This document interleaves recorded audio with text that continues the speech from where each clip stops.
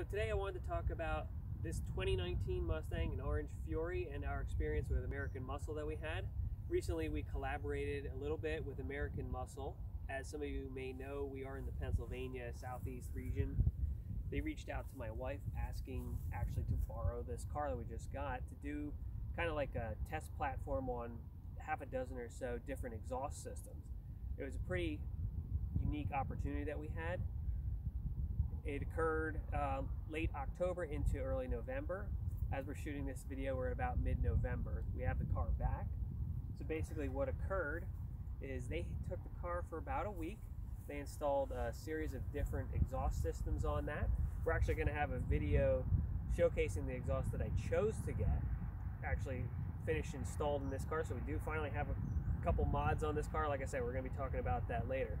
But uh, as you can see, we still have the 2014 Mustang here. It didn't go anywhere, so it's not like I replaced this one with the 2019. So for those of you that haven't seen this yet, we've only done two videos on this car. It's still a baby. It's a 10-speed automatic car. It's the cloth interior.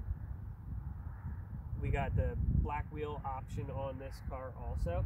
And kind of the most striking appearance thing is you can see the orange paint job that came from the factory also.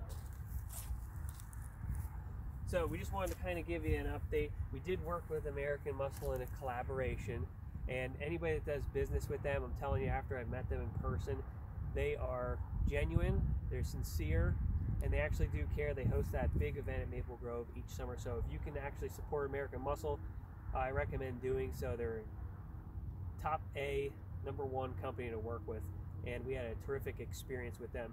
So as the videos start to come out from American Muscle, we're going to put links to their videos from our videos, or check out our website, horseplayhobbies.com.